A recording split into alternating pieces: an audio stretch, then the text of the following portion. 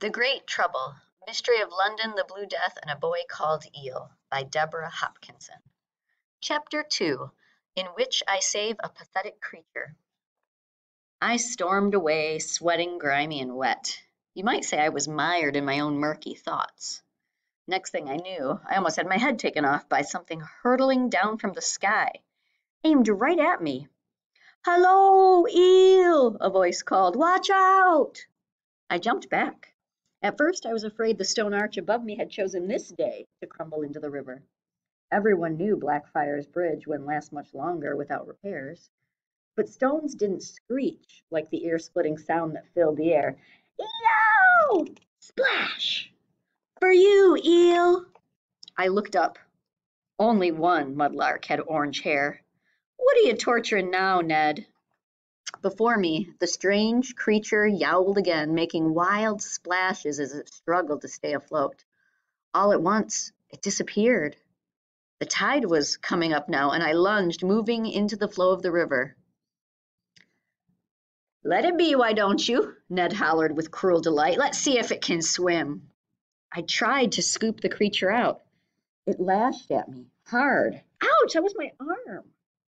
I almost left it to drown. I didn't fancy getting scratched to shreds and having my arms turn bright red from dirty wounds. Last winter, another mudlark, a lad of only eight, had nearly lost his foot after stepping on a piece of sharp glass. Then I remembered my old muslin bag, which I used for carrying odd bits of rope and pieces of coal. Maybe I could catch the creature in that.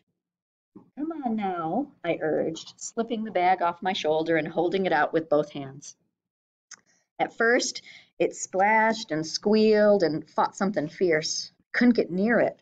Then it disappeared under the oily surface again. In a flash, I reached below and scooped the sodden creature up into my bag. Gotcha. Wading to the river bank, I held the bag tight against my body and peered inside. A pair of bright green eyes, green as a queen's emeralds, stared back at me out of a mass of bedraggled black fur. I grinned. You fight hard for such a scrawny animal. Now be still and I'll rub you dry. You should be grateful I come along came along when I did, little Queenie. I looked up to see Ned still leaning over the side of the bridge.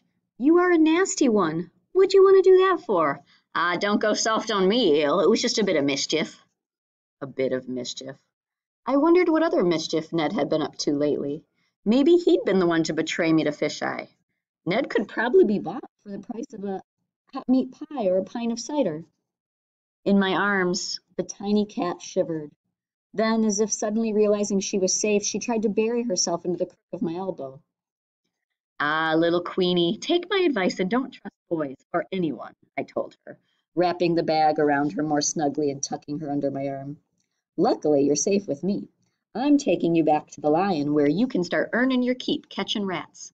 I felt one tickling my toes just the other night. For answer, she began to purr. On my way back to the Lion, I passed through Covent Garden, where the flower sellers were just setting up their stalls. Clutches of girls were busy trying were busy tying violets into bunches, laughing and gossiping as they worked. The streets were already a bustle of carts and wagons piled high with vegetables, chickens, cheese, and fruit from the countryside. The smell of frying fish, potatoes, and onions drifted toward me, making my stomach growl. It brought me back to last winter, when just the smell of frying onions could make me almost faint with hunger. Then I relaxed and smiled a little. Those days were gone. I had a situation now, a good one. When I got back to Broad Street, I would have bread, cheese, and a cool dipper of good water waiting for me in my tiny corner in the cellar of the Lion Brewery. I moved quickly, my cap pulled low, my old shoes squelching on the cobblestones. I'd let my guard down these last few months since I'd come to the Lion. Jake's words were a warning. I needed to keep a sharp lookout from now on. Fisheye had spies everywhere, pickpockets mostly, and the gang of petty thieves who did his dirty work for him. He won't think to look for me on Broad Street, or anywhere else near the Golden Square Park in Soho, I tried to convince myself as I headed north. Fisheye didn't frequent that neighborhood too much. He would expect me to be keeping low in the crowded slums. We called them rookeries of Southwark, south of the river and he won't find what I've hidden. I had to make sure of that. That's what mattered most. The little cat squirmed and clawed every time a horse neighed or a dog barked close by. Sometimes she held her tiny mouth on my arm and bit hard. Stop it or I'll let you down into the wheels of the next cart, I warned. But of course, I never would. I was about to cross Broad Street to the Lion Brewery when I spotted the white face of Mrs. Lewis staring up at me from the open window of her cellar. cellar. Hello, Mrs. Lewis. Baby wake you early? Before it was light. Poor Fanny, the wee thing has it coming out both ends.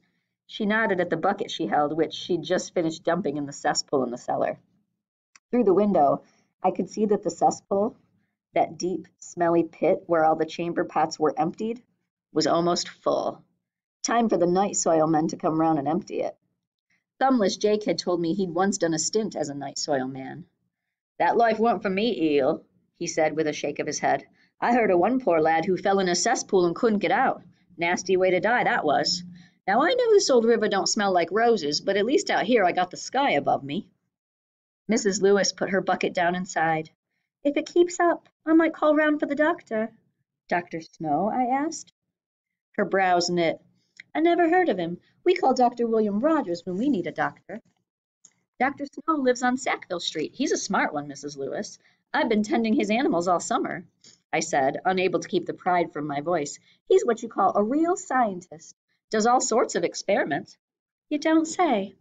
Dr. Snow has learned to put animals, and even people, to sleep for short periods of time with a special gas so as they won't feel pain, I explained. He made a grizzly bear that needed a tooth pulled go to sleep, and even eased the queen's pain when she gave birth to Prince Leopold last year. If he's doctoring giant grizzlies and Queen Victoria herself, he must be a clever one. She wiped her forehead with the tip of her apron and picked up her bucket. Well, I'd best be getting back upstairs before Fanny wakes. Give my regards to Constable Lewis, I said politely, and I hope Annie Ribbons don't get sick. Is that what you call my girl? Mrs. Lewis smiled. She do like to collect ribbons and threads, I'll say that. She's already a better seamstress than me, but goodness, you children and your nicknames. Seems like no child around the Golden Square ever gets called by his true name. Mrs. Lewis put a hand to her back as though it ached, which it probably did on account of the bucket she carried from the second floor down to the cellar. I've always been curious, Eel. What's your real name? I grinned. I'll never tell, Mrs. Lewis. And I wouldn't, especially now that Fish Eye could be closing in on me. More than ever, I had to be like an eel. I said goodbye and turned on my heel to head across the street. Eel, watch where you're going, you clumsy lad, Florrie Baker jumped aside, but I had to reach out and steady myself on the Broad Street pump to keep from sprawling to the cobblestones. I squeezed little Queenie tight to keep from dropping her. Sorry. I grinned into the second pair of green eyes I'd seen that morning, though I wasn't about to tell Florrie Baker she had anything in common with a half-drowned cat. Not if I wanted to avoid getting knocked down for real. You're up early. Fetching water for your mum? That I am. She wrinkled her nose. You've been at the river, ain't you? You got the stink of the Thames about you, and whatever's making your bag wriggle like that. Just then, a freckle-faced boy came up behind Florrie, leading a pony in a small cart. He stopped and cleared his throat. Begging your pardon, Florrie, can I have a turn at the pump? I need to get to Hampstead and back this morning. Go right ahead, Gus, unless Eel here wants a turn first, said Florrie. She picked up her bucket and moved aside. Not me. At the Lion, we get water delivered from the New River Company, and we have our own well, I said, pushing the cat more firmly under my arm so she wouldn't wriggle so much. Besides, I like the Warwick Street pump water better. Can't say exactly why. Gus stepped up to fill his jug, not taking his eyes off Florrie. I jabbed her in the ribs and whispered, One of your admirers? Florrie giggled. Now don't you say anything against Gus. He's a steady boy, has a job as a runner at the at the Eley Brothers factory down the street. And thoughtful, too. Even brings me flowers sometimes. Flowers? Was Florrie the sort of girl who liked flowers? The most I'd ever given her was a pencil. Florrie stepped closer and tried to peer into my bag. Now let's see what you got in there. I opened the bag. I peeled the bag open to reveal the little cat's wet head. Florrie laughed. So are you rescuing kittens now, or is this creature for that famous Dr. Snow you're always going on about? Mostly keeps guinea pigs, mice, frogs, and rabbits these days, I told her. I'm going to raise little Queenie up as a ratter at the lion. I paused. Unless, that is, maybe you'd like her. Florrie grinned. Our Jasper would claw her pretty face to pieces. Besides, we can't take on another mouth to feed, even a cat. Mom has her hands full trying to feed a family of five. I'm going to be helping Mom out, though, soon enough. She looks serious now. It's been settled. I'm to go into service in a fortnight. You are? But where? Worried you won't see me ever? She teased. Don't fret. I'll be working for a nice lady and her elderly father in North London, not too far away. Close enough to walk home on my half day off to see all my old friends. What will you do? Where do all girls start? I'm to be the scullery maid. But before long, mark my words, I'll be housemaid in charge of everything, she told me confidently. I'm twelve after all, thirteen come next winter. It's time I did my part. So, so I guess this means you'll leave the ragged school. I was lucky to go this long. Nancy only went to school till she was ten. She pulled a small dog-eared sketchbook from her pocket and giggled. I'll draw you pictures of all the fancy dishes the fine folks eat. I grinned, though I wondered if she'd have time for that. I'd seen scullery maids, their hands swollen and red from all that washing up. Maybe you can sketch little Queenie for me some day. Once she's properly dried off, that is. I will, she promised, slipping her sketchbook back into her pocket. Across the way, the front door of the Lion opened. The business day was starting. I'd best get this little one something to nibble on before I start work, I told Florrie. Don't want to be late or I'll catch trouble. Can I come feed Dr. Snow's animals with you today? she asked. I haven't seen them yet, and soon I won't have the chance. Meet me here later, I agreed. I can't go until I'm done with work at the Lion and sweeping up for Mr. Griggs. I swear, Eel, you're the busiest lad in Soho, said Florrie.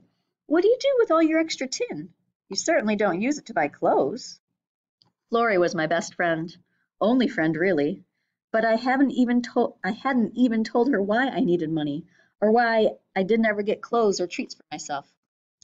Florrie, here's something I would like to do with my money, I said suddenly. I'd like to buy you an Italian ice. The chance to see Florrie Baker smile was definitely worth a penny.